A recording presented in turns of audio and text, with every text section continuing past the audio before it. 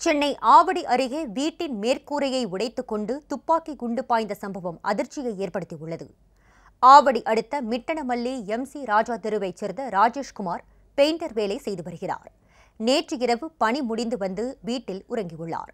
பின்னர் காலையில் எழுந்து பார்த்தபோது பீரோ கண்ணாடி உடைந்து சிமெண்ட் ஓடு துளை ஏற்பட்டு காணப்பட்டுள்ளது. இதனைத் தொடர்ந்து தனது வீட்டில் துப்பாக்கி குண்டு இருந்ததைக் கண்டு அதிர்ச்சியடைந்த அவர் உடனடியாக காவல் கட்டுப்பாட்டு அறைக்கு தகவல் கொடுத்துள்ளார். இதனைத் தொடர்ந்து சம்பவ இடத்திற்கு வந்த காவல்துறையினர் துப்பாக்கி குண்டை கைப்பற்றி விசாரணை மேற்கொண்டு வருகின்றனர். மேலும் அருகில் சிஆர்பிஎஃப் பயிற்சி வளாகம் இருப்பதால் பயிற்சி மேற்கொள்ளும் போது ஏதேனும் துப்பாக்கி குண்டுகள் வந்து விழுந்திருக்கலாம் எனவும் அல்லது வேறு யாரேனும் துப்பாக்கி பயிற்சியில் ஈடுபட்டு இங்கு வந்து விழுந்ததா என்பது குறித்தும் பல்வேறு கோணங்களில் விசாரணை மேற்கொண்டு வருகின்றனர்.